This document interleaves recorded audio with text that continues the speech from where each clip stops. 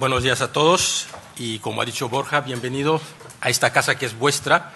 Vamos a intentar eh, brevemente que eh, cada uno de los presentes primero haga un acercamiento a su, a su, entidad y luego eh, pasaremos a hacer algunas preguntas para aclarar y sobre todo para que el mensaje llegue a todos los aquí presentes.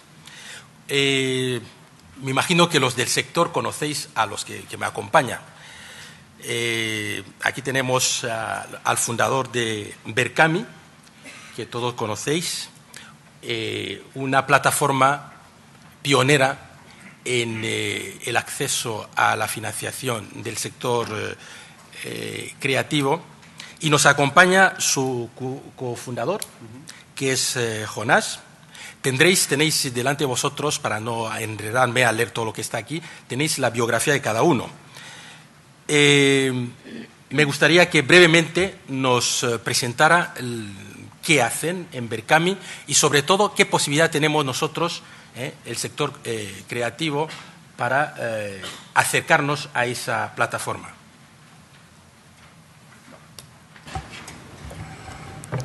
Muy bien. Me acerco un poco el micro. Perfecto. Pues nada, muchas gracias, un placer estar aquí. Muchas gracias, Néstor, por la presentación. Yo soy Jonas Sala, soy uno de los cofundadores de Berkami. Y bueno, Berkami significa en esperanto amante de la creación, ¿no? Y es un poco lo que nos dedicamos desde hace ahora siete años. Entonces, nosotros trabajamos con la modalidad de crowdfunding de recompensa, ¿no? es decir, que los proyectos que buscan financiación en nuestra plataforma básicamente ofrecen siempre, mm, en general, a cambio, ¿no? pues el producto que quieren llevar a cabo una vez esté finalizado.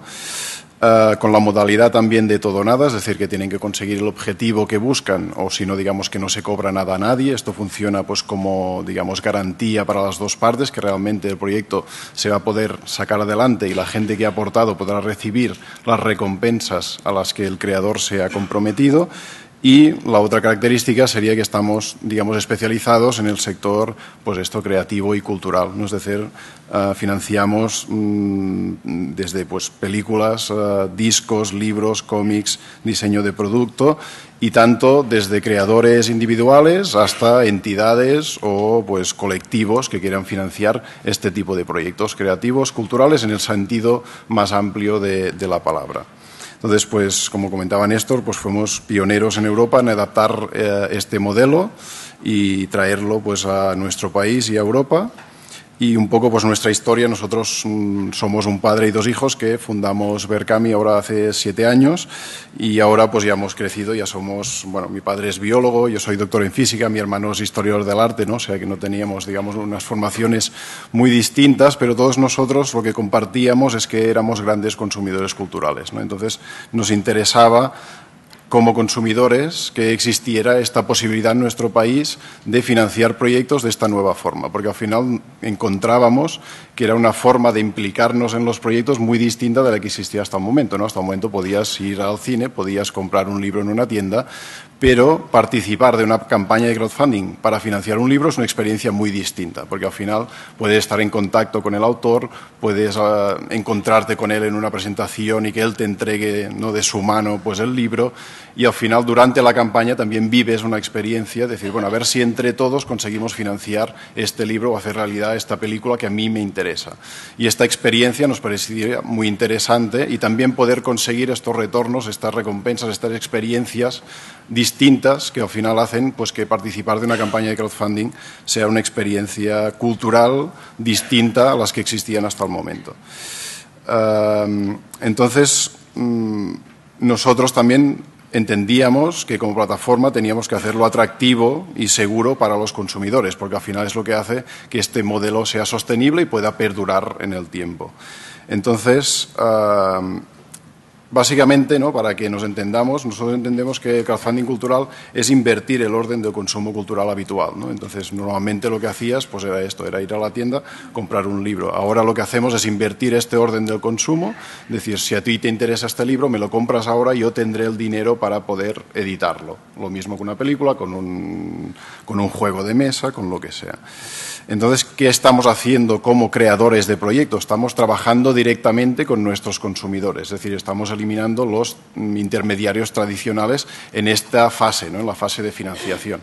Con lo cual podemos ofrecer el producto final, el producto producido, al precio de venta, pero eh, digamos nosotros tenemos un margen mucho más grande que si vendemos pues, un libro en una tienda, ¿no? para seguir con este ejemplo de los libros.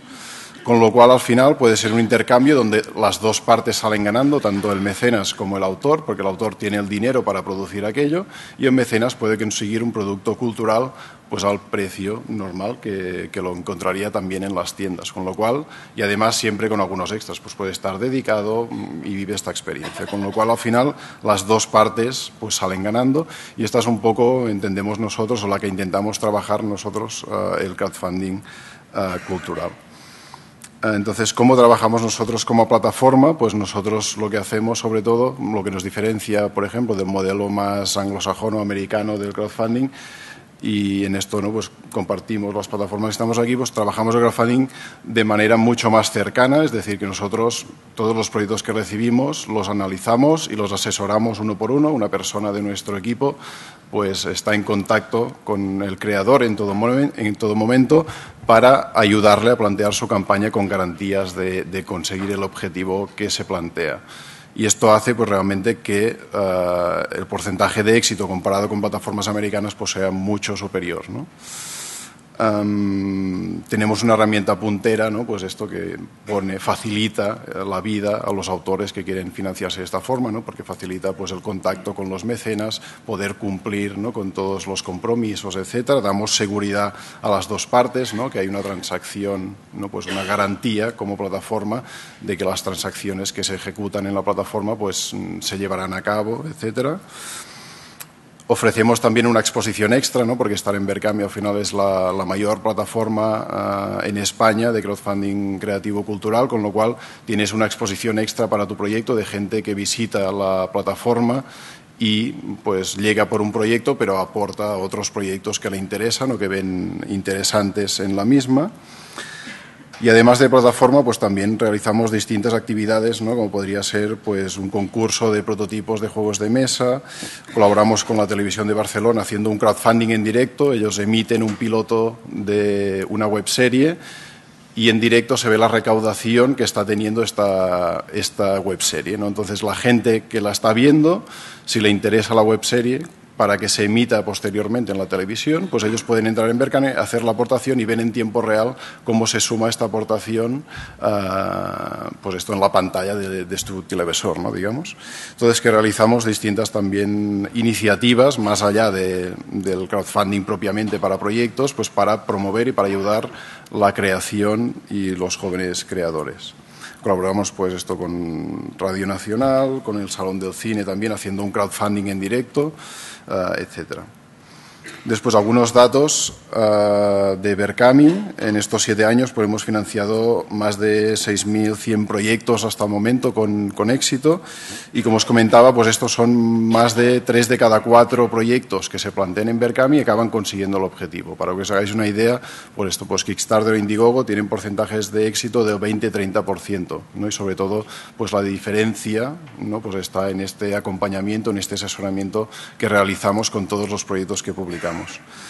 Y esto ha sido gracias a más de 830.000 aportaciones de personas. ¿no? Es decir, que al final la fuerza del crowdfunding está aquí, está en que gente desconocida confía en proyectos de gente que tampoco conocen de nada. ¿no? Entonces, realmente, esto es lo que cada día nos sorprende, es decir, que se generen estas relaciones de confianza entre, entre artistas y su público.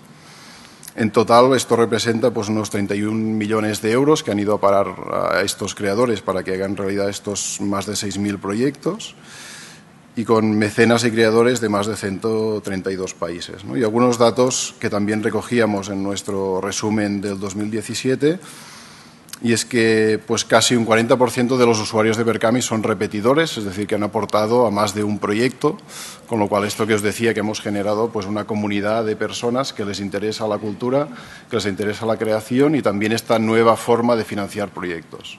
¿no? Es decir, que no es una cosa de una vez, sino que les interesa, les gusta esta forma de financiar. Y después también un 26% de los proyectos que hemos financiado son de autores repetidores, ¿no? Es decir, que hay autores que han conseguido hacer del crowdfunding una forma, digamos, sostenible de financiar, bueno, de vivir ¿no? y de poder seguir financiando proyectos. Hay, autores que han financiado pues, cinco, seis, siete proyectos en, en Berkami, lo cual realmente demuestra que el crowdfunding puede ser un, modelo sostenible de creación. Y finalmente, pues apuntar algunas, algunas ideas de que también el crowdfunding nos parece interesante porque es más que financiación, ¿no? no solo conseguir dinero, que al final es lo que vemos cuando entramos en una plataforma, sino que también es, por ejemplo, poner una idea a prueba. ¿no? Es decir, uh, cuando tenemos un prototipo a veces de un producto, pues hacer una campaña es una buena forma de ponerlo a prueba. Un buen ejemplo muy rápidamente, y ya para ir terminando, pues tenemos un muy buen ejemplo que era una gente que quería sacar un vino escape room, ¿no? un, escape room, no sé si conocéis, ¿no? esto que son varias pruebas y tal, quería hacer un vino con distintas... Uh, bueno, cuando te lo ibas tomando, pues ibas resolviendo un caso. ¿no? Y en este, entonces plantearon una campaña para financiarlo. Ellos lo querían dirigir a amantes del vino. Entonces hicieron un proyecto con un precio del vino que era un poco caro, ¿no? porque decían, bueno, la gente que le gusta el vino pues va a pagar un poco más, etcétera. Hicieron su campaña y no, no funcionó. Pero sí que vieron durante la campaña que la gente que le interesaba era la gente que le gustaban los juegos de mesa, pero esta gente estaba acostumbrada a pagar bastante menos ¿no? por un juego, que eran pues esto, 15, 20 euros. Entonces replantearon la campaña, lo dirigieron directamente pues, a, a los amantes de los juegos de mesa ajustando el precio de este vino y al final pues consiguieron esta campaña y lo superaron su objetivo, consiguieron caso 10.000 euros para producirlo y en breve pues estará ya pues en, tiendas de juegos y en, eh, bibliotecas, etcétera. También para quitar riesgo a la producción cultural, porque al final tú tienes el dinero por avanzado, cuando lo produces, pues tienes una serie de, bueno, por ejemplo, un libro, ¿no? cuando lo tienes producido, con 100 mecenas puedes producir 500, 600 libros. Todo este excedente ya lo puedes vender y a partir de aquí ya puedes sacar un beneficio neto, ¿no? porque tú ya has pagado todos los gastos asociados pues, a la edición y a la impresión. Y una cosa muy importante que también nos sirve para generar comunidad. ¿no? Hasta el momento tú no sabías quiénes eran la gente que te estaba comprando, por ejemplo, a través de, digamos, en las tiendas o la gente que te iba a ver al cine. En cambio, haciendo una campaña sí que realmente pues, tienes los contactos directos de esta comunidad, con lo cual te permite esta, digamos, uh, bueno, que puedan, si tú la, la, comunidad la vas fidelizando, ¿no? pues esto te permite seguir creando con ellos. Esto es un trabajo que tienes que realizar, pero, digamos, te sirve para ir generando, ampliando estas comunidades y al final es uno de los activos más importantes que puedes tener como creador, es tener una comunidad y que sea tuya, no de terceros, sino que sea tu comunidad. ¿no?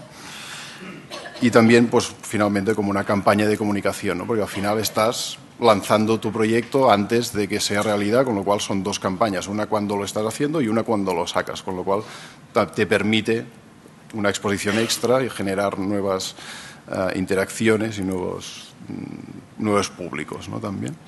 Bueno, está aquí un poco y después ya seguiremos ¿no? con el debate aportando, aportando cosas. Muy bien, muchísimas gracias. muchísimas gracias. Además, Muchas gracias, decía, y además mm. eh, has respetado el tiempo que te hemos dado. Y, y, la verdad que es eh, un gusto escucharte y sobre todo decirnos, eh, por lo menos reforzar algunas ideas que ya teníamos como que las plataformas han venido a quedarse, porque después de siete años y con todos los datos que nos estás dando, lógicamente podemos afirmar que es un modelo o una, una forma de financiarse alternativa que está aquí para quedarse. A ver qué nos cuentan nuestros amigos de Goteo. Susana. Tenéis eh, su presentación, como he dicho, para, tenemos el, tiempo muy limitado para no tener que leer su biografía, que es una biografía muy extensa. Es la presidenta de la Fundación eh, Goteo y nos va a explicar brevemente en qué consiste y qué hacen ellos.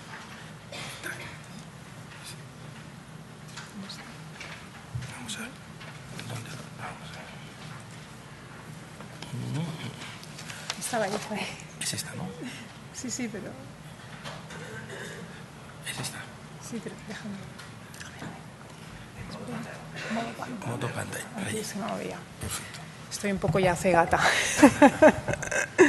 bueno, buenos días a todos y a todas. Eh, primero de todo, pues muchas gracias a la Subdirección de Industrias eh, Culturales y Mecenazgo por la invitación y por la posibilidad de compartir eh, con todos vosotros y vosotras eh, la visión de la, Fundación Goteo en este debate de hoy.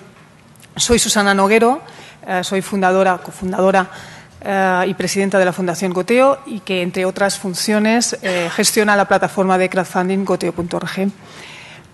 Quería empezar esta mini presentación un poco planteando un escenario. Mm, ¿Sí? ¿Qué pasaría si eh, pudiéramos unir los intereses de la ciudadanía con los intereses de las instituciones públicas y los intereses de, la- de las industrias culturales? Bien, ese, eh, entorno eh, de corresponsabilidad y de transparencia es goteo.org, porque es justamente eso lo que estamos haciendo. Um, en el 2011, cuando empezamos a diseñar la plataforma goteo.org, partíamos de ese, de ese mismo escenario um, y, después de 15 convocatorias de match funding um, realizadas en España y en Europa, eh, podemos afirmar que ese, ese, ese escenario tenía todo, todo el sentido. Mm, Nuestras convocatorias de match funding lo que hacen es combinar el crowdfunding, que ha explicado también Jonás, con otros fondos, fondos públicos y fondos de organizaciones privadas. De manera que por cada mm, euro ciudadano de un micromecenas, eh, una organización eh, pública o privada aporta, suma otro euro a la campaña de crowdfunding. ¿Vale? Aquí tenéis pues, un mapa de diferentes convocatorias que hemos, que hemos llevado a cabo. Muchas organizaciones repiten con nosotros en este, en este modelo. Eh, hemos, eh, hemos captado más de medio millón de euros que se han distribuido en diferentes campañas de crowdfunding. Más o menos el porcentaje es un 38% de lo que al final esas campañas ah, captan. ¿no? Y aquí tenéis también en la, en la zona de, arriba, en, esta parte superior, dos convocatorias de match funding que ahora mismo están ah, activas en la plataforma. Podéis consultar en la portada de goteo.org para más información. Están activas y una de ellas acaba, digamos, la convocatoria mañana, ¿no? la de Guipúzcoa. Bien. Lo que quiero explicar es que eh, Goteo, y también apuntaba un poco a Jonás, que la filosofía también de, Berkami es de ir un poquito más allá de- del crowdfunding. ¿no? Nosotros ah, trabajamos am, desde una manera más integral, no solamente en la financiación, porque aparte de influir en políticas ah, públicas y captar fondos para, para las campañas eh, en goteo.org, am, también cubrimos lo que es la fase inicial de, de ideación de los proyectos. ¿no? Por eso, para nosotros la formación es importantísimo y todo el trabajo de asesorías que estamos llevando a cabo continuamente. ¿no? Es decir, que cubrimos la formación, cubrimos la, comunicación, cubrimos la financiación, obviamente, y este año también empezamos a construir un modelo de, eh, bueno, para poder medir, digamos, el impacto del crowdfunding y el impacto, o sea, el impacto del crowdfunding en los proyectos y también el impacto, obviamente, de, de nuestros trabajos. Y quería explicaros una historia que representa un poquito cómo trabajamos Goteo y también el tipo de proyectos que, que- Goteo apoya y, y selecciona, ¿no? Os presento aquí a Frieda Daufin Berges, es una diseñadora y profesora de diseño de, vestuario que coleccionó durante toda su vida ropa y accesorios eh, y, decidió donar su, maravillosa colección al, al- Museo de Moda de Amberes de, MOMU, el Museo de, Diseño eh, de Amberes. Eh, su colección que aquí podéis ver, eh, se compone de muchísimos objetos de, de ve- vestidos de los años 20, faldas de, de los años 50, accesorios eh, increíbles que eh, le, ayudaron a ella a, digamos, a inspirarse en su trabajo de, diseñadora de vestuario para, para el cine y para el teatro. Y que eh, más tarde nos explicaba ella que cuando se dedicó a la educación mm, sus estudiantes utilizaban su colección justamente para, digamos, aprender e investigar sobre la historia del vestuario. Entonces, eh, nosotros, digamos, Goteo, la Fundación Goteo y nuestra plataforma, el equipo que está detrás, eh, creemos que hacemos muchas cosas bien, pero, pero, una de las cosas en las que a lo mejor más destacamos es en um, aplicar la creatividad y la co-creación en todos nuestros uh, talleres y, asesorías. Y por eso, cuando Hicimos un taller eh, de crowdfunding en el MOMU con profesores, diseñadores, empresas, uh, responsables de museo vimos con claridad que eh, había que hacer una campaña de crowdfunding para la colección de Freda, o sea, para diseñar una herramienta digital educativa que pudiera transmitir todo ese conocimiento a los estudiantes y que creara un vínculo con, el, con la colección física en el museo. Y así lo hicimos. Y no solo eso, además, perdón, convencimos a la Fundación Privada Europeana um, en hacer una convocatoria de match funding con nosotros Ah, justamente para cofinanciar proyectos de este tipo eh, que están trabajando con este mismo principio de reuso del patrimonio cultural, inventando productos y nuevos servicios ah, a partir del patrimonio digital o no cultural que tenemos en Europa. Bien, obviamente esta campaña y otras, y otras que también se presentaron en esta convocatoria consiguieron su financiación y ahora mismo pues hay una, hay una herramienta digital que está activa, que están utilizando muchas eh, escuelas de diseño eh, en Holanda y, este tipo de impacto es el que nosotros estamos buscando en los proyectos que seleccionamos en goteo.org. bien, eh, este es un proyecto eh, de Holanda, eh, la convocatoria era una convocatoria europea, también se presentaron proyectos españoles, obviamente, pero también tenemos muchísimos ejemplos en nuestra plataforma de proyectos españoles con este mismo principio y valores. es el caso de Amarenac, Historias que se llevan puestas. Es un proyecto de Ollane, Ollane Pardo, que también participó en una convocatoria de match funding, en este caso con fondos públicos de la Diputación Foral de Guipúzcoa.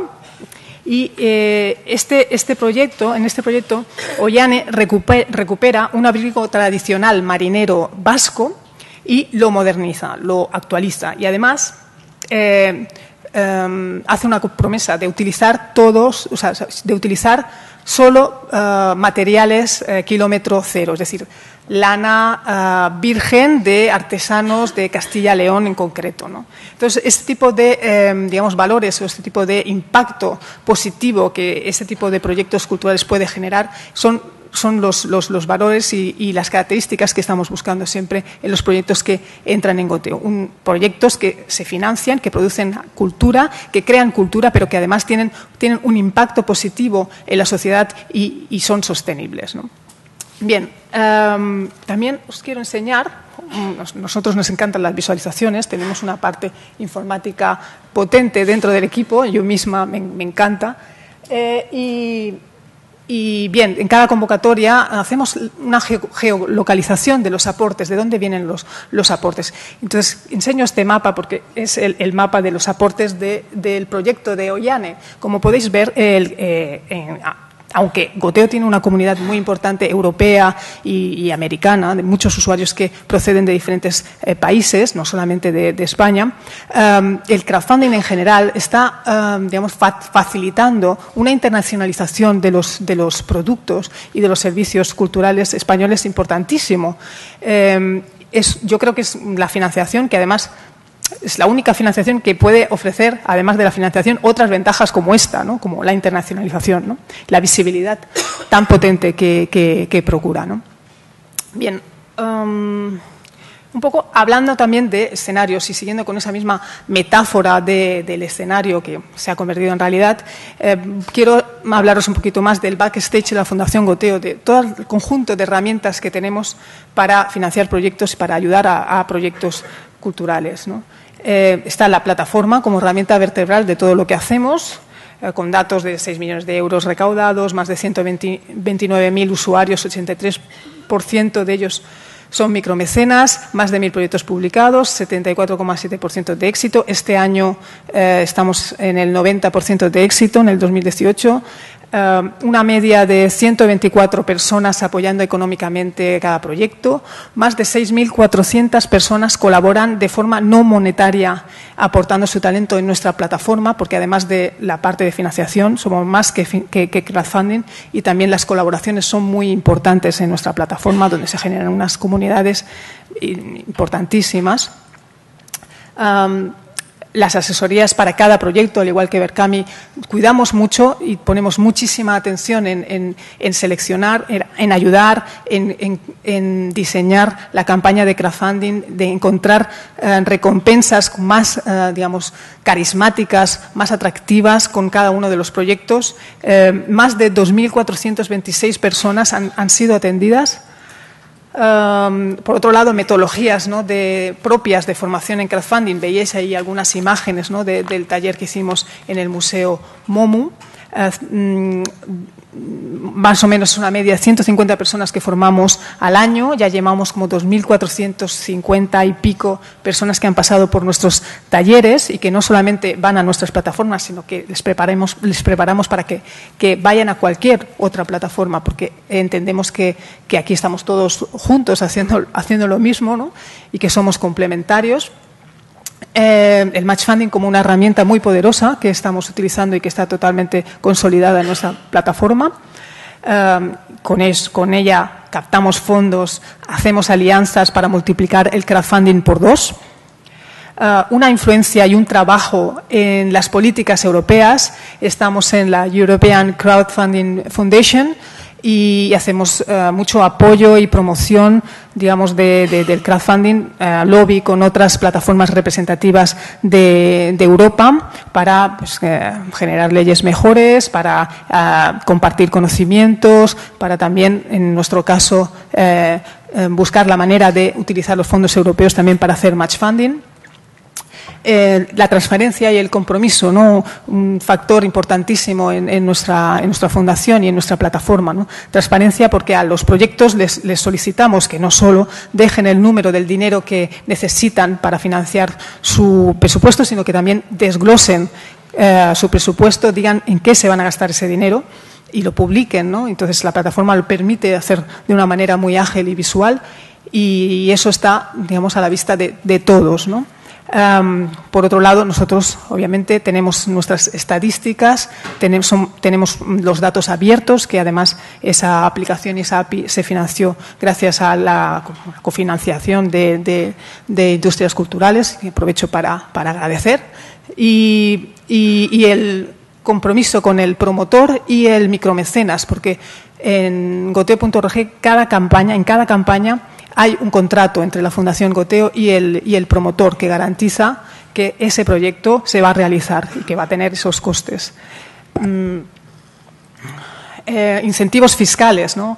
Eh, tenemos un monedero virtual. Invitamos a todos, todos nuestros donantes a eh, vincular su aportación en este monedero virtual y, cuando quieran utilizar ese aporte pueden distribuirlo a una campaña activa en la plataforma goteo.org o dejarlo ahí para próximas eh, campañas que les puedan interesar. Y por último, la innovación en fundraising. O sea, nosotros estamos todo el rato repensando el modelo, encontrando nuevas, eh, nuevas funcionalidades. Empezamos de esa manera. Eh, no nos interesaba tanto replicar el modelo eh, norteamericano anglosajón, en ese momento, pues en el 2009, 2010, Kickstarter y compañía, sino cómo repensar, cómo mejorar ese modelo y adaptarlo también a la, a la a la sociedad española. Em, respecto también a nuevos desarrollos que estamos haciendo, este, este año junto a la European Crowdfunding Network vamos a iniciar una serie de seminarios con, empresas porque estamos eh, diseñando un espacio específico de gestión de RSC. ¿Vale? Entonces, las personas que estén interesadas en conocer más sobre este tipo de seminarios que vamos a organizar en, en España, pues se pongan en contacto conmigo, que luego en el café me lo comenten porque entre este año y el próximo vamos a organizar todo este tipo de, seminarios. Y para acabar, eh, solamente haré una pequeña cuña eh, publicitaria. Tenemos abierta esta, esta convocatoria con la Diputación Foral de Guipúzcoa. Eh, se cierra mañana 5 de junio para, y estamos distribuyendo 70.000 euros de match funding para 15 proyectos, para 15 campañas de crowdfunding culturales en Guipúzcoa o con impacto en Guipúzcoa. si conocéis a alguien, pues la web está aquí arriba, goteo.cc barra meta 2018. Y nada más, muchas gracias por todo.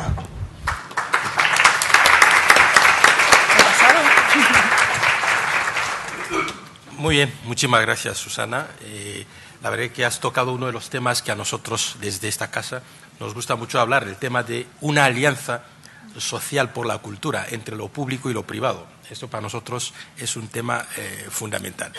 Ya tendremos tiempo y momento para hablar de ello. Ahora eh, paso la palabra a Ana, que es toda una eminencia, como podéis ver en su biografía, en tema cultural. Yo siempre que tengo alguna duda, cuando estoy haciendo algún trabajo, siempre suelo recurrir a ella porque conoce nuestro sector muy bien y ha puesto en marcha hace bien poco una plataforma que es muy importante para sobre todo el sector de, eh, mecenazgo. Y tenemos eh, ese honor de tenerla aquí para que nos hable de ese nuevo eh, proyecto. Gracias, Ana. Bueno, pues muchas gracias a ti, Néstor, por estas cosas que dice, que son una exageración absoluta. Y muchas gracias también por haberme invitado a estar aquí. Eh, bueno, yo entre 2011 y 2014 fui directora de Cultura en Navarra y en ese periodo conseguimos, eh, bueno, impulsamos, redactamos y conseguimos que el Parlamento aprobara una ley de mecenazgo cultural.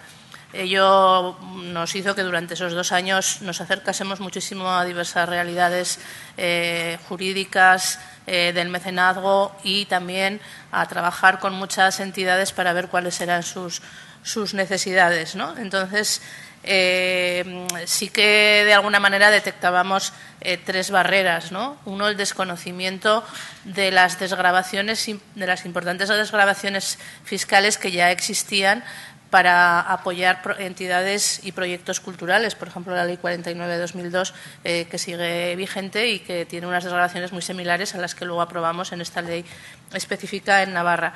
Eh, también, y creo que eso está cambiando con el esfuerzo de todos y con también en, ello creo que han tenido una importancia eh, grande las plataformas de crowdfunding, que es eh, la sensibilidad social para apoyar la cultura. ¿no? Digamos que entendíamos que estaba muy incorporada el apoyo a lo social, incluso a lo deportivo, mucho menos lo cultural, y creo que aquí también el Ministerio está haciendo un esfuerzo por cambiar esto. Y también digamos que la otra barrera era eh, la falta de estructura en las propias organizaciones, eh, la falta de medios, de recursos y de conocimiento para llegar a cabo campañas de captación de fondos en un sentido amplio. ¿no? Entonces, Mecenalia, que la verdad estamos empezando y somos una plataforma muy joven, que casi no hemos dado ni los primeros eh, pasos, pero lo que intentamos es eh, trabajar en un ámbito muy concreto del crowdfunding, que son las donaciones de mecenazgo. Aunque en el habla utilizamos la palabra mecenas sobre todo y la palabra mecenazgo un poco menos de una manera muy amplia, digamos que jurídicamente en la Ley 49 de 2002 y en la Ley Foral de Mecenazgo Cultural eh, el mecenazgo es algo muy concreto, es una donación desinteresada que no puede recibir recompensas dinerarias eh, a cambio, pero que sí que eh, le ofrece, en las instituciones públicas le ofrecen a ese mecenas unas desgrabaciones fiscales muy importantes, sobre todo en el micromecenazgo, porque al dar 150 euros, hasta 150 euros, uno se puede desgrabar 75 euros en en, el IRPF, no 75, no 115, ¿no? o sea, 75%, hasta 150. Y realmente está más o menos estudiado que las donaciones medias de una persona eh, a cualquier ámbito son 120, 150, así que sí que son muy importantes, ¿no? Pero eh, y eso es lo que trabaja eh, Mecenalia, ¿no? También es verdad que la ley establece que solamente hay ciertas entidades que pueden ser beneficiarias del mecenazgo, ¿no? Son entidades sin ánimo de lucro.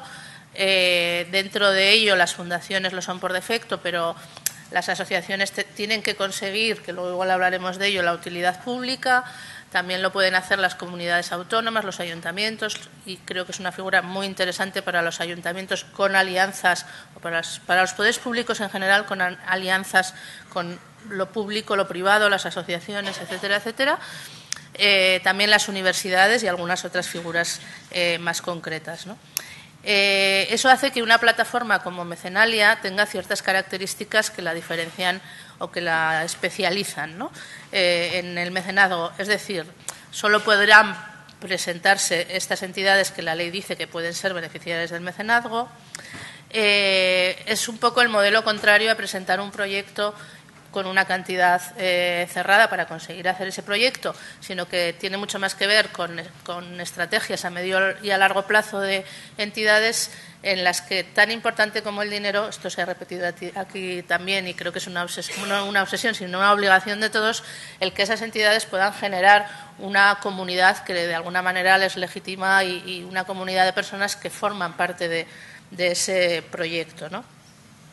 Eh, también esas donaciones de mecenazgo, como digo, son a medio plazo. Tanto pueden ser para un proyecto concreto, que muchas veces establece una relación de carácter más emocional y que implica más a los donantes, pero también para financiar la estructura. ¿no? Y en este sentido es una figura también muy aprovechada para aquellas entidades que funcionan con socios, ¿no? porque muchas veces esa aportación de los socios eh, no va a un proyecto concreto, sino, a mantener y a formar parte de esa, estructura ¿no? y sí que pueden eh, obtener esas desgrabaciones eh, fiscales.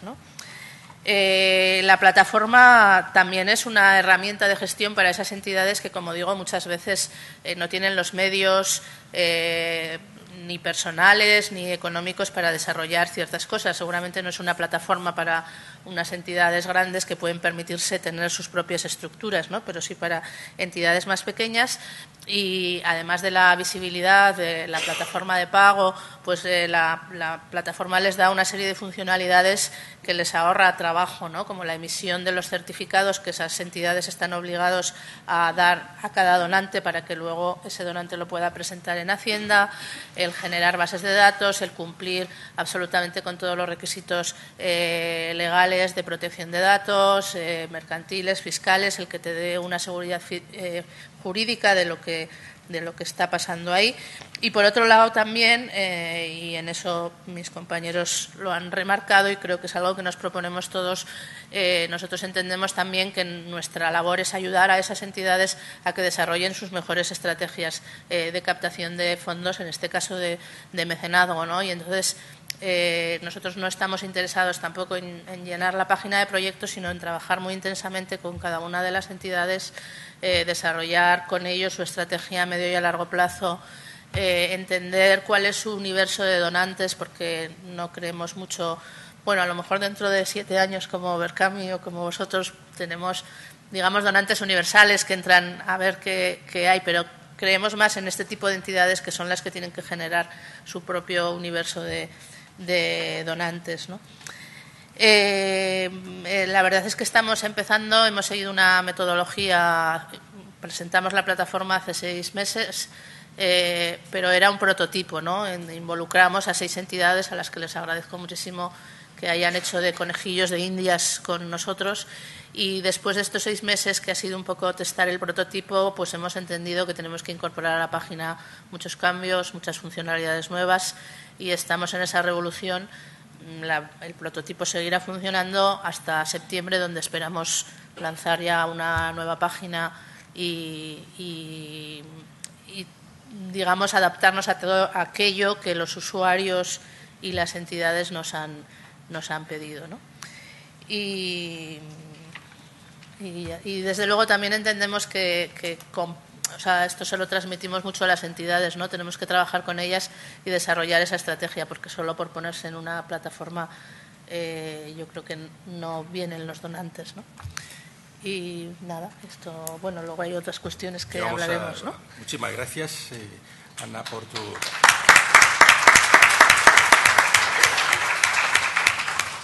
Como podéis ver, eh, hay una diversidad de plataforma en España. Eh, sabéis que hay muchísimas plataformas. Nosotros hemos querido eh, invitar aquí a aquellos que tienen que ver directamente con nuestro sector. Y sobre todo el tema de mecenazgo que nosotros desde aquí, como podéis ver, cultura y mecenazgo, no podíamos eh, hacer esta mesa sin invitar a alguien que tenga, o por lo menos una plataforma que tenga relación con nosotros. Entonces ahora vamos a, dar la palabra a Antonio, el presidente de la plataforma Patrocíname, a ver qué, qué es lo que nos puede aportar hoy. Gracias. Muchas gracias a la Unidad de Cultura y Mecenazgo y a Néstor por invitarnos a esta jornada y gracias también a todos los asistentes por venir a escucharnos. Esperamos que os resulte muy interesante. Patrocíname, somos una plataforma de muy reciente creación y lo que hacemos es poner en contacto a proyectos culturales que buscan patrocinadores para financiar sus proyectos con marcas y empresas que estén interesadas en promocionarse y darse a conocer a través del patrocinio de estos, de estos proyectos culturales. Eh, en nuestro caso, eh, de lo que se trata es de un intercambio económico a cambio de una publicidad o de una visibilidad.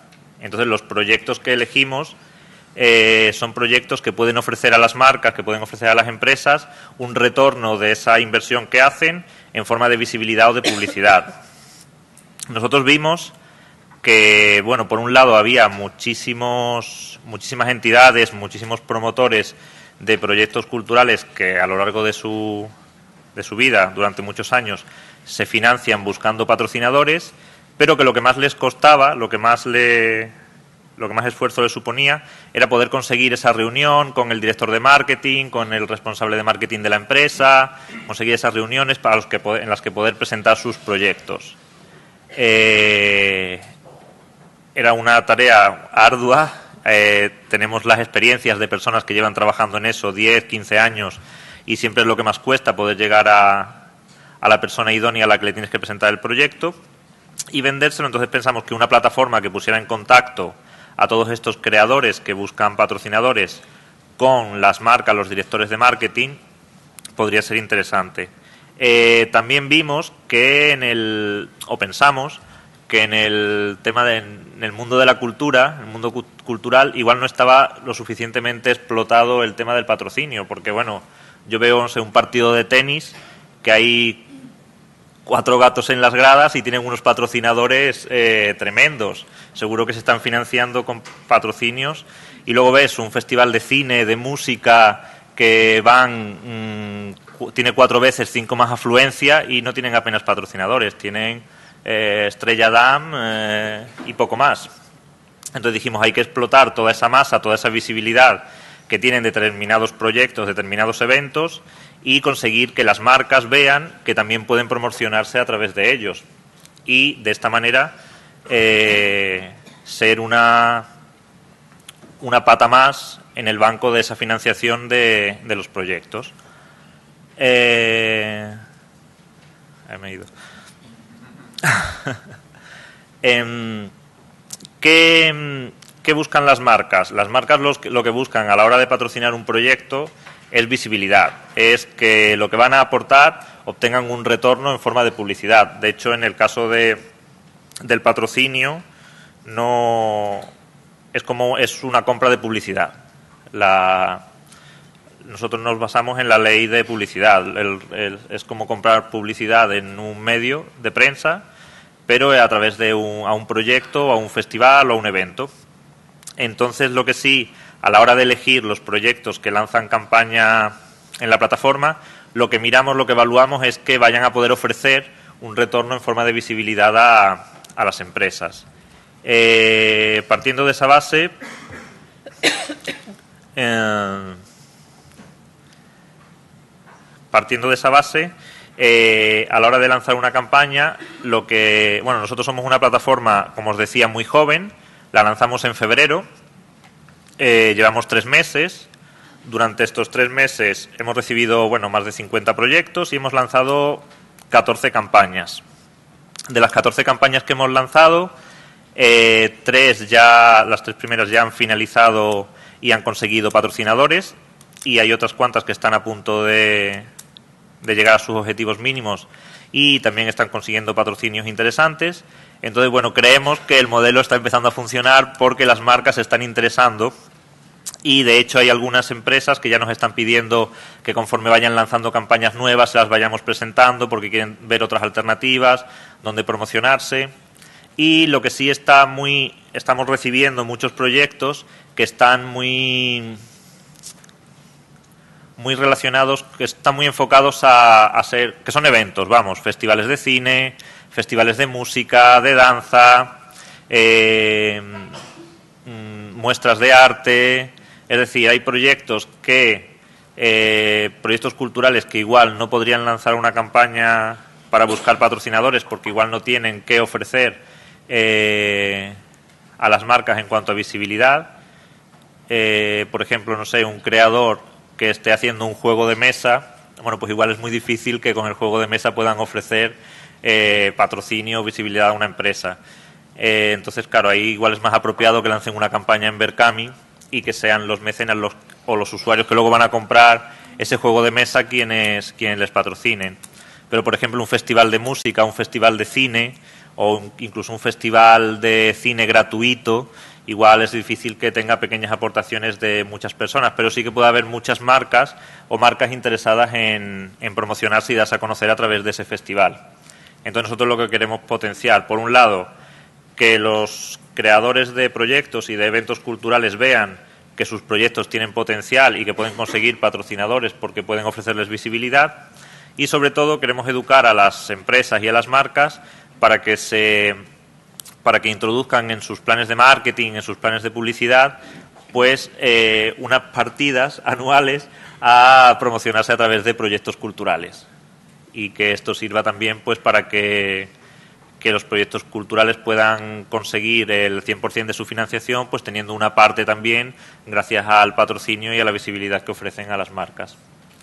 Y bueno, voy a ser breve para que nos dé tiempo de debatir un poquito y si bueno, si queremos si luego tenéis alguna pregunta, pues estaremos por aquí todo el día. Muy bien.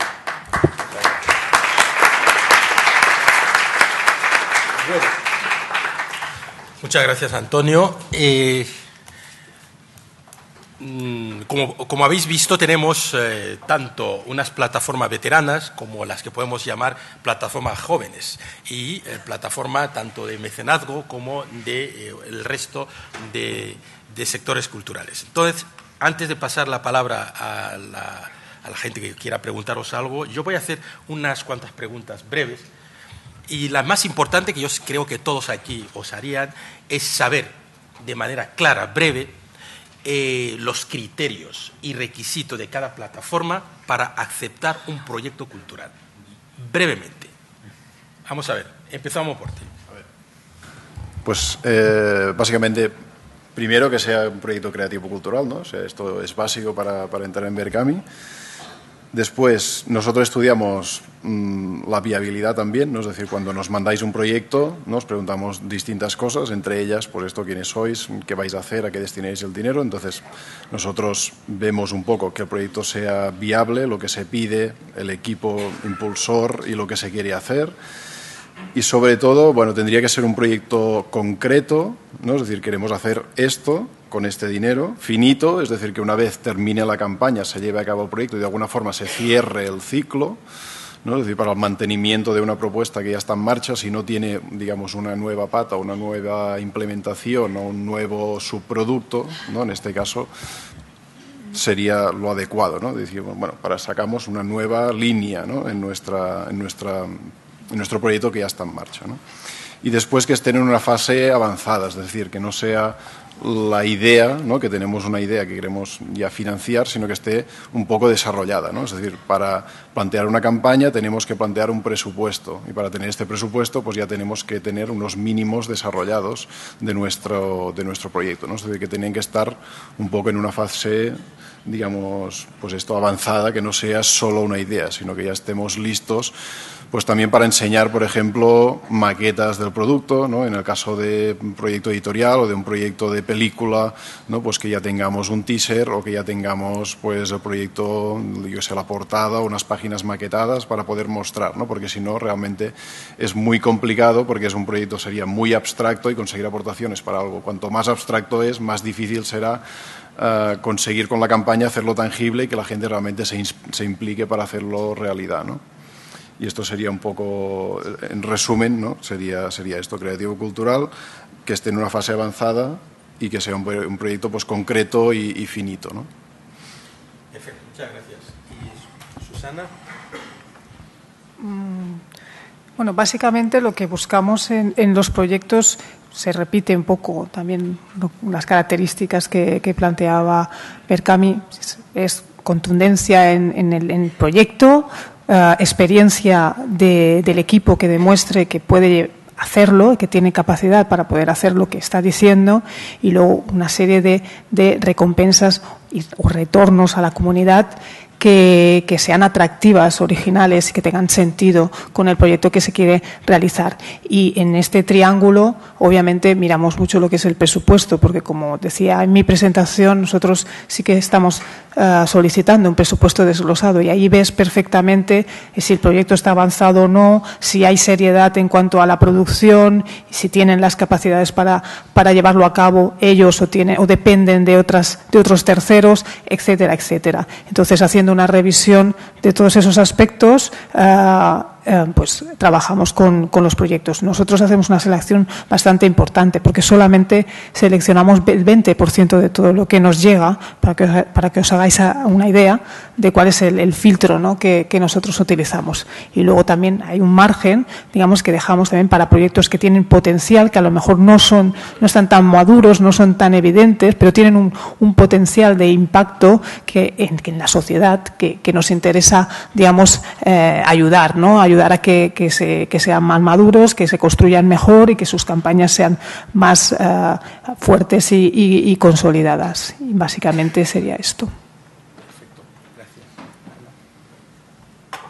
Sí, nosotros trabajamos en un doble plano, que es Navarra y el resto, ¿no? porque la legislación es distinta. En Navarra está muy fácil porque la ley indica que es la propia administración la que tiene que eh, digamos, dar un sello, que es el sello de mecenazgo, aquellos proyectos que pueden recibir ese mecenazgo. Así que nos, ah, vamos, nos ahorran un poco la labor. ¿no? Eh, en el resto, para nosotros, como llevamos un corto recorrido, tampoco hemos tenido que enfrentarnos a muchas situaciones de selección. ¿no? Pero bueno, hay algo eh, que es una exigencia, que es que esa entidad sea una de las que la ley reconoce como posible beneficiaria del mecenazgo. ¿no? Esto se cae por sí solo. Y para nosotros lo segundo muy importante, aparte de que sea cultural, que es verdad que a veces la línea no estará clara, pero la mayor parte de las veces sí, es el compromiso de esa entidad en, en establecer una estrategia de mecenazgo a medio y a largo plazo, ¿no? porque si no entendemos que no tiene ningún sentido que esté en nuestra plataforma. Antonio. En nuestro caso, mmm la principal, el principal requisito es que sean proyectos culturales, culturales y, y creativos, y luego, dentro de, de, este requisito imprescindible, es que puedan ofrecer, el, como hablaba antes, una visibilidad y un, y una y un retorno eh, a las marcas en cuanto, en cuanto a visibilidad y publicidad. Eh, Claro, en, en, la mayoría de los casos se puede encontrar la forma en que ofrecer ese, ese retorno y esa visibilidad. Pero bueno, hay proyectos en los que está muy claro, como son los festivales, los eventos, eh, jornadas. Y hay proyectos en los que es más complicado, pero por ejemplo proyectos audiovisuales, que se puede meter todo el tema de eh, product placement y, y aquí sí. Luego hay proyectos que, aunque son proyectos culturales, pues es muy difícil que puedan ofrecer eh, visibilidad a una marca. Por ejemplo, un pintor que está pintando un cuadro, pues para el, desarrollo de, del trabajo de pintar el cuadro, pues igual es muy difícil encontrar patrocinadores. Pero luego, en cambio, si quiere hacer una exposición, pues igual puede buscar patrocinadores para la exposición. Entonces sí que trabajamos al principio con los proyectos cuando nos llegan, sobre todo es eh, qué visibilidad, qué podemos ofrecer a las marcas para que el proyecto sea atractivo. Luego también tenemos que dejar claro en la descripción de la campaña es eh, que esa visibilidad que ofrecemos va a ser real, la afluencia que va a tener el evento, el impacto que tendrá, cuántas personas lo verán, aparte que de lo que tú ofreces, aparte de que sea atractivo, que realmente se va a cumplir esa visibilidad y un poco lo que estudiamos con los proyectos es todo eso. Y tardamos un tiempo en terminar de definirlo y lanzar las campañas. Eh, y bueno, esos serían los únicos requisitos. Proyectos culturales y creativos y que puedan ofrecer una visibilidad a las marcas. Bueno, entonces, nada, antes a, los que nos escuchan, una última pregunta. Em, este año es, el año eh, europeo de patrimonio cultural. ¿Qué impacto eh, tiene en vuestras plataformas el sector de patrimonio cultural?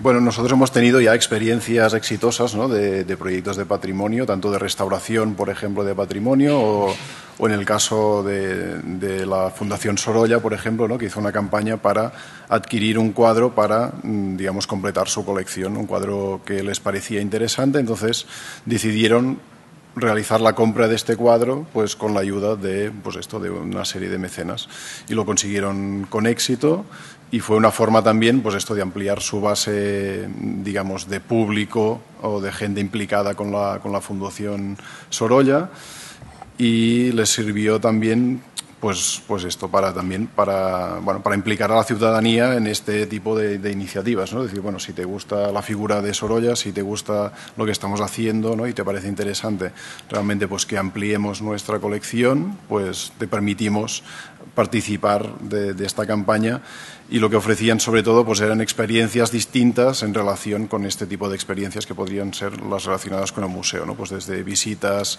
a puerta cerrada con, ah, con la directora del museo, con curadores, etcétera, ¿no? Son experiencias que la gente que le gusta el arte, la pintura, pues podía valorar y que tenían una ocasión especial pues para disfrutar de la obra de Sorolla de otra forma y en otro contexto, por ejemplo.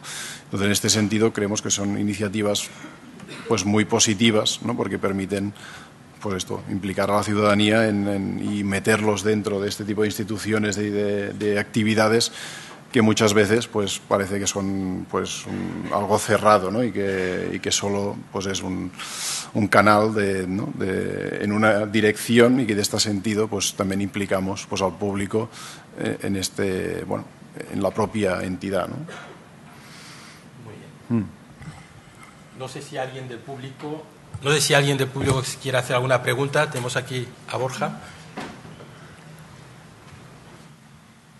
Hola. Siguiendo con la pregunta. Siguiendo con la pregunta de Néstor, em, ¿habéis tenido algún proyecto de conservación del patrimonio histórico o artístico o no, no, no habéis tenido por el momento? Sí, nosotros dentro de los seis proyectos con los que empezamos, uno es una excavación arqueológica y, es con el que más estamos trabajando el proyecto y yo creo que es está del mecenazgo una figura muy interesante, por ejemplo, para los ayuntamientos pequeños, porque eh, digamos que las donaciones de los vecinos eh, tienen este reporte fiscal, que es casi como recibir una subvención, ¿no? Y luego también creo que hay un trabajo muy agradecido con los medios y grandes donantes, tanto personas como empresas que tienen un vínculo a una localidad y el patrimonio es un, es un elemento muy permanente. ¿no? Entonces sí que creo que, que la figura del mecenazgo es interesante para, para la restauración del patrimonio en general. ¿no?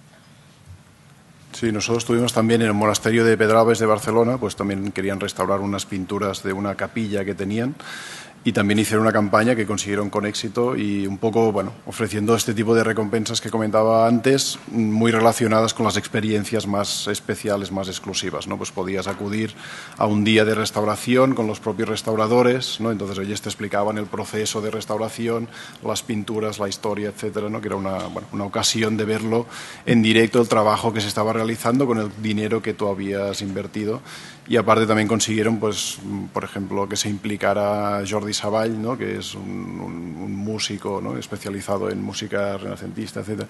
Y entonces, pues, uh, bueno, hicieron un concierto exclusivo para los mecenas que habían aportado un poco más. Entonces, bueno, en este sentido mmm, funcionan bien y también hay este sentimiento ¿no? de, de, la gente del entorno que, que realmente valora pues, pues, su patrimonio y que quiere ayudar a conservarlo. ¿no? Que, que, bueno, en Contigo hay muchas experiencias de protección a, a patrimonio y de desarrollo de, nueva, de nuevos productos y servicios alrededor de patrimonio cultural, tanto físico como, como, digital y creemos que es una oportunidad para los museos y las instituciones públicas, sin ninguna duda, eh, probar este formato de, de, del crowdfunding ¿no? y ser, creativos también ellos en, en, el diseño de la campaña de crowdfunding, porque hay, ya hay muchos ejemplos que se pueden, digamos, imitar o, se pueden eh, investigar para justamente hacer buenas campañas de crowdfunding implicando a muchos donantes, a muchos micromecenas eh, que están dispuestos a, a sentirse parte de ese patrimonio que también es suyo.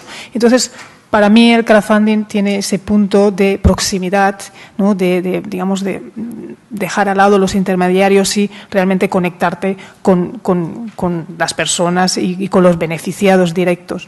Y, y, las instituciones públicas, sin duda, tienen una oportunidad buenísima uh, y deberían contar más con, con, nosotros, con nuestra experiencia y con nuestra, nuestros consejos, digamos, para poder uh, hacer este tipo de campañas con más frecuencia ¿no? y pequeñas y medianas e incluso grandes. Hola, buenos días. Eh, quería preguntar si algunos de los proyectos que recibís tienen algún tipo de corte académico, quiero decir, pueden ser estudios aplicados a cultura. Eh, eso por una parte. Y por otra parte, si, es decir, si son todos proyectos de ejecución, de llevar a cabo una acción concreta, o pueden ser también relacionados con estudios que pueden tener alguna aplicación en cultura. Estoy pensando ahora mismo en un museo que pueda hacer un estudio de sus colecciones o una digitalización de fondos, por ejemplo y también si los proyectos que recibís son eminentemente con un corte tecnológico o innovador, si están muy vinculados a las nuevas tecnologías o no. Muchas gracias. Proyectos. Eh, sí, en nuestro caso sí. Eh, además trabajamos muchísimo con las universidades. De hecho, la primera organización que apostó por el modelo de match funding fue la Universidad Internacional de Andalucía. ¿no? Entonces, sí, eh, hemos financiado bastantes proyectos de investigación y tienen también muchas posibilidades eh, a nivel de pensar en, en recompensas asociadas a, a, esas investigaciones. Por ejemplo, hacer artículos de divulgación, digamos, con licencias eh, libres que se puedan, digamos, compartir en Internet y eso es muy, está muy bien valorado entre, entre los micromecenas. También conocimiento libre, interesante que pueda también influir a otros. ¿no? Entonces, eh, pues eh, por esa parte tenemos muchísimos proyectos y muchas alianzas con universidades eh, públicas y privadas en goteo y podéis ver algunas, algunos ejemplos de esos, de esos proyectos en nuestros canales. Y por la parte de tu pre, por la pregunta, por la última parte de tu pregunta sobre si tienen que ser innovadores o, relacionados con tecnologías, o sea, no, no precisamente, o sea, ojo, nos gusta la innovación y nos gusta la creatividad y, y que, que los proyectos sean originales, que tengan valor añadido siempre que, que, se pueda, pero hay proyectos que tienen otros valores también que son interesantes, no solamente el de la innovación, ¿no? y, y, también están bien acogidos, en, en, por lo menos en nuestra plataforma. Sí, no, yo coincido con, con, Susana en el tema este de las investigaciones, un poco el mismo que el patrimonio, ¿no? que al final es, si realmente es un aportas no algo que es mm, digamos importante para un segmento, para una comunidad, para una entidad, lo que sea, ¿no? pues entonces realmente si es interesante para esta comunidad, Uh, es interesante utilizar el crowdfunding para financiarlo. ¿no? Al final se trata de eso, de financiar cosas que importen a la gente y, y, un poco la revolución que aportamos es esta, que no tiene que importar a mucha gente, sino que si importa a una pequeña comunidad, pero le importa mucho, pues al final con 100, con 200 personas puedes financiar un montón de cosas y no son grandes comunidades. Es un poco la revolución también que aporta el crowdfunding.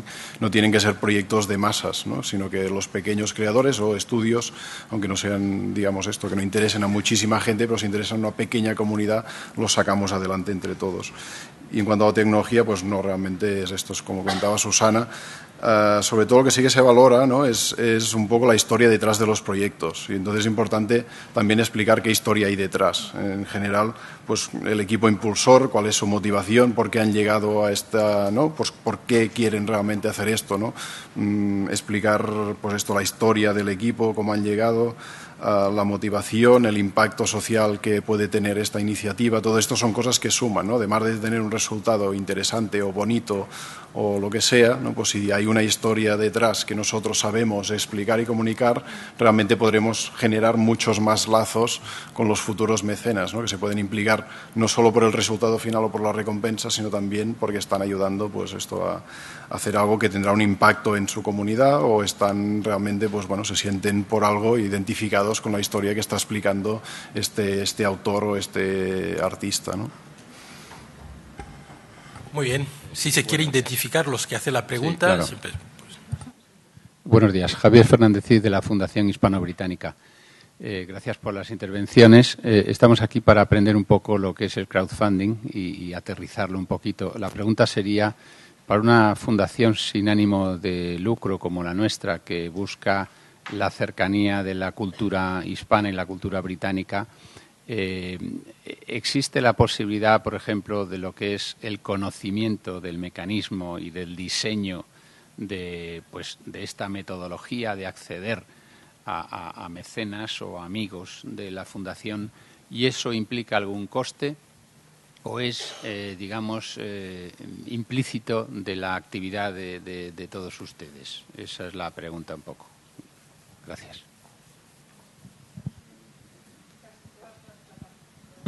Casi todas las plataformas, no conozco con profundidad eh, los costes de, de, las vuestras, pero eh, tienen como una comisión, digamos, de, eh, por, por, campaña. ¿no? Si la campaña es exitosa, pues es, en nuestro caso, por ejemplo, eh, cobramos el 4% de, de comisión eh, y no sé si Bergamis 5 y, y, y, cada plataforma tiene su modelo de, de, negocio de sostenibilidad, obviamente. ¿no? Nosotros, además de la comisión, hacemos muchas otras actividades de formación, eh, asesorías, organizamos eventos, etcétera, ¿no? como me imagino que también Berkami. Con lo cual sí que hay ese, ese, coste que es mínimo para toda la infraestructura y todo el asesoramiento que realmente se está dando en esas plataformas. Nuestra plataforma también funciona con una comisión un 5%, con toda una serie de cosas incluidas, ¿no? Mm, bueno, en nuestro caso igual. Lo único que cobramos es un 5% en aquellos proyectos que consiguen financiación a través de los patrocinios.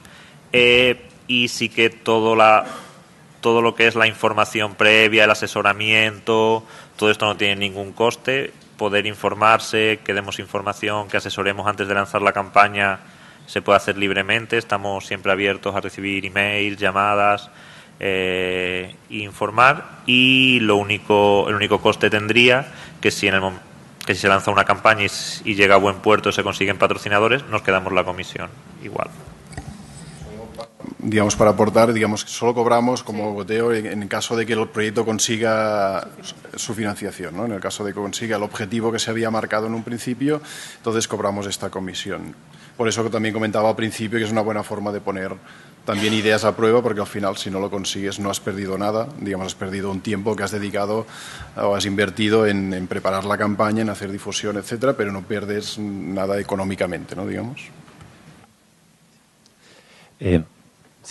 Hola, buenos días. Eh, mi nombre es León, soy estudiante de gestión cultural. Eh, tenía dos preguntas. La primera era si eh, pensáis si se pueden utilizar, si no se han utilizado ya, este tipo de mecanismos para financiar o apoyar proyectos de inclusión social a través de la cultura o, proyectos de fortalecimiento de la democracia cultural. Y la segunda es para, para el señor Lama. Qué tipo de empresas sois, son a, a las que os dirigís para, para apoyar la parte de, de, la sponsorización y la financiación. Te contesto también un poquito a la primera pregunta y enlazo con la segunda. Sí, nosotros, bueno, eh, para este tipo de proyectos hay que tener también en cuenta que sí, que las aparte de la visibilidad, que parece que he puesto mucho énfasis antes, eh, también la, las marcas lo que buscan es una imagen y vincularse con según qué proyectos les da cierta imagen, cierto prestigio y ciertas... Eh, es, una manera de, de, obtener y de ganar responsabilidad social ellas. Entonces, según qué proyectos también les interesa patrocinarlos, aunque vayan a obtener menos visibilidad, pero si esa visibilidad, si el hecho de apoyar ese proyecto va a ser favorable en cuanto a, a, la, a la responsabilidad que, que obtiene esa marca. Y luego me preguntabas eh, el tipo de empresas que suelen patrocinar. Nosotros lo que hacemos un poco es, eh, en función del proyecto, intentamos definir eh, las marcas que podrían estar más interesadas en, en, patrocinar a ese proyecto y es a la que sobre todo nos dirigimos. Luego cuando hablamos con, unas, con las marcas y ya tenemos reuniones con ellas, con las empresas, entonces nos definen el target, a quién quieren llegar, eh, entonces les diseñamos, digamos, una campaña en base a los proyectos que hay en ese momento lanzados a la plataforma, en la plataforma. Digamos que vamos hablando con marcas de todo tipo, lo que sí que en función del proyecto intentamos centrarnos en, por ejemplo, no sé, un festival. Eh, ahora tenemos una muestra de cine que se hace al aire libre en las playas de Barcelona. Pues hablamos con marcas de bebida, pues a lo mejor con marcas de helado, con marcas que podría interesarles pues promocionarse en ese festival o en ese evento. Entonces, bueno, nosotros, eh, la plataforma estaría abierta a todas las marcas y empresas que quieran promocionarse, pero luego definimos la estrategia en función de lo que ofrece el proyecto y en función de lo que buscan las marcas eh, en cuanto a target y en cuanto a público al que quieren llegar. Sí, no, bueno, en cuanto al tema de la inclusión social ¿no? que comentabas, digamos que es algo bueno, en general, si es un proyecto creativo cultural, si además es inclusivo ¿no? o promueve la inclusión, pues es, es un extra. ¿no? O sea que en, este sentido tendría totalmente cabida en Berkami un proyecto que sea creativo cultural y que además pues, sea, sea inclusivo. En este sentido, pues, si desde puesta en marcha de espacios, ¿no? hemos financiado un montón de puesta en marcha de pues, estos espacios que después pues, darán un servicio a la comunidad local, ¿no? pues ya sea a través de, yo qué sé, porque hacen talleres de circo o porque hacen pases de documentales o lo que sea, ¿no? y después documentales sobre danza con, digamos, gente con diversidad funcional, todo este tipo de proyectos pues digamos que son los también eh, idóneos ¿no? para hacer campañas de crowdfunding, porque es lo que comentaba un poco antes, que además de ser un proyecto cultural que te puede gustar el resultado, además pues tienen una serie de, de valores que te puedes sentir también pues con ganas de financiarlo además de por el resultado final, ¿no? por también lo que están promoviendo los valores que hay detrás de esta iniciativa. ¿no? bueno, un apunte sobre todo lo que mejora el, storytelling, ¿no? la historia del proyecto ¿no? y los valores que hay dentro del proyecto, pues siempre es, es un extra. O sea, obviamente sí, son proyectos que, que, aceptamos y que, y que funcionan muy bien. La última pregunta, por favor, porque ya son las... Tenemos... Oh, brevemente, por favor. bueno, muchas gracias. Eh, soy Abdo Tunsi, el presidente del Círculo Intercultural Hispano-Árabe. Nosotros llevamos tres años y medio trabajando en pos de la interculturalidad y, por lo tanto, eh, yo mm, lo que están hablando de proyectos que eh, luego se le busca lo lucrativo de ellos, pues nosotros hemos trabajado en ellos como paso de moda, eh, como por ejemplo eh, la Feria del Libro, libro hispano-árabe. Pero claro, mm, muchas veces en nuestros proyectos pues necesitan quien pueda encontrar también la parte lucrativa de ellos. Y por eso pues necesitamos estas ayudas, aunque tampoco tenemos ayudas y subvenciones directas, porque hasta el momento, no sé, por falta de experiencia o conocimiento, no hemos llegado a tener subvenciones directas. Mi pregunta es eso, que si presentamos proyectos, ¿son ustedes capaces de encontrar la parte lucrativa de estos proyectos? Gracias. Sí, bueno, no sé exactamente, claro, nosotros la parte, bueno, en principio las plataformas, ¿no? como hemos comentado un poco, tampoco nos dedicamos a buscar nosotros activamente ¿no? los, los mecenas, sino que tiene que haber una implicación, ¿no? como comentaba Ana también, de la propia iniciativa, propio impulsor, ¿no? es decir, que puede ser un extra la exposición que dé una plataforma, pero no es lo básico, sino que tiene que haber una implicación del autor, de la, de la, entidad, de lo que sea, para moverlo en su entorno más próximo y que a partir de aquí pueda crecer y pueda ampliar estos, estos públicos. Y después, digamos, en cuanto a buscar el lucro, claro, quizá hay iniciativas que son un poco más de mantenimiento, ¿no? Digamos, bueno, pues tengo ¿no? mi iniciativa y quiero seguir uh, manteniéndola, con lo cual, pues recibo donaciones periódicas, etcétera. Y en nuestro caso, que sería más para proyectos puntuales, ¿no? Decías, bueno, si hacéis publicaciones o libros, ¿no? Pues queremos publicar un nuevo libro, entonces para financiar esta edición hacemos una campaña y financiamos la edición, ¿no? En este caso serían proyectos más concretos con un objetivo muy claro, ¿no? pues hacer una, uh, unas jornadas, ¿no? hacer una publicación o hacer un documental o alguna cosa más, digamos un proyecto concreto, finito, como comentaba un poco antes. No sé si era más o menos esto. Bueno, ¿cuántas preguntas tenemos? Brevemente porque ya son las 11 y tengo que parar. Sí. Eh, hola, buenos días. Les hago la pregunta rápidamente. Quería saber cómo se mueven ustedes en el mundo rural, en un entorno más local, si porque claro, yo imagino que en ciudades grandes es más fácil llevar a cabo este tipo de proyectos y sobre todo buscar eh, micromecenazgo, ¿no? Porque quizás la gente esté más, bueno, tenga más acceso a la cultura y a lo mejor está más familiarizada con este tipo de medios. Pero claro, pues en un, en un pueblo pequeño, en yo que sé, un festival de música, en, en un sitio más más pequeño, cómo se busca, si ustedes hacen talleres, actividades para fomentarlo, o cómo se puede buscar ese tipo de financiación, o por ejemplo algo de patrimonio, en un sitio que sea pequeño. Bueno, por lo menos en lo que respecta al mecenazgo, la iniciativa municipal yo creo que es muy importante, ¿no? Porque eh, de alguna manera es una comunicación directa con los vecinos que pueden impulsar ya sea el patrimonio, ya sea un evento, ya sea un festival, con esas donaciones, bueno, que pueden ser eh, mm, de cualquier plataforma de, de, modelo de crowdfunding o también de mecenazgo, ¿no? Entonces, bueno, es verdad que yo creo que el acceso a Internet o si no una relación directa con los vecinos a través de otras fórmulas, pues es relativamente fácil, ¿no? Me parece. Brevemente sí que teníamos, bueno, nos contaba una autora de un pueblo muy pequeño que hacía su iniciativa para, bueno, para hacer unos, unos huertos uh, ecológicos, etcétera, y que esto le había servido incluso pues para que sus vecinos, hoy me he enterado de que estaba haciendo una campaña y le iban a ver y a veces no habían hablado con ellos aún y llevaban tres o cuatro años en el pueblo y a raíz de la campaña pues realmente generaron esta, esta comunidad más local, ¿no? De gente que decía, hostia, eh, me he enterado de que tienes este proyecto en marcha, pues de que va, explícamelo y después le hacían la aportación o incluso le hacían la aportación en mano y después ellos lo subían a la campaña, ¿no? O sea que, al final en distintos entornos funcionan distintas formas de mover una campaña y, y generan distintas relaciones, ¿no? Quizá en ciudades grandes pues todo a través de Internet y que no es tan directo, en cambio en un pueblo pues tiene su ventaja y es que tienes los canales muy claros de cómo llegar a tu población, ¿no? Pues la, el blog local o el Facebook donde todo el mundo sigue las noticias, etcétera. Sí, bueno, en nuestro caso igual. Lo que hemos tenido, por ejemplo, festivales de cine de pueblos pequeñitos, uno en Talavera de la Reina, por ejemplo, y lo que han hecho ha sido involucrar a negocios de a negocios locales, negocios de la zona, hoteles eh, y pequeños comerciantes que han hecho patrocinios más pequeñitos, no como haría una gran marca, pero bueno, con, con patrocinios de negocios locales, pues han conseguido financiar parte del festival. Bueno, la última pregunta, por favor. Sí, muy breve. Eh, José Manuel, gestor cultural.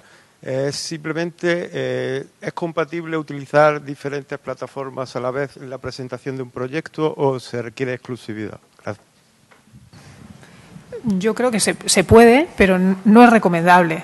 Básicamente porque si estás haciendo una campaña necesitas concentrarte en una campaña y si tienes dos ya estás creando una seria una, una confusión solamente con los links eh, donde eh, van a ir tus donantes o tus micromecenas a hacer la aportación obviamente lo puedes hacer, pero desde mi punto de vista no es recomendable por, por, no crear demasiado ruido. Puedes hacer una campaña primero con uno y al cabo de un tiempo con otro y probar las diferentes comunidades y, perfecto, ¿no? Pero bueno, es, hay que ser un poco listo aquí.